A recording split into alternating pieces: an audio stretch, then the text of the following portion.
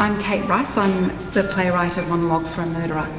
This play is about violence and specifically it's, a, it's an investigation of a particular event. It was a high school shooting which happened in the German city of Erfurt in 2002.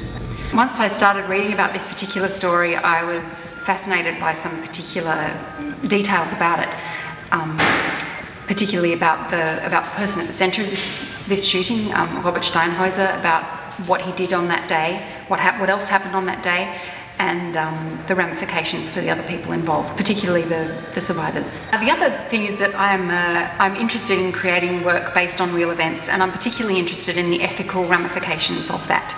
So the ethics of me as a person who wasn't there or wasn't involved in a particular event, then coming to it as an outsider and writing about it with, with any kind of authority. The show opens on the 29th of October and runs until the 9th of November at La Mama Courthouse and you can make bookings at the La Mama website.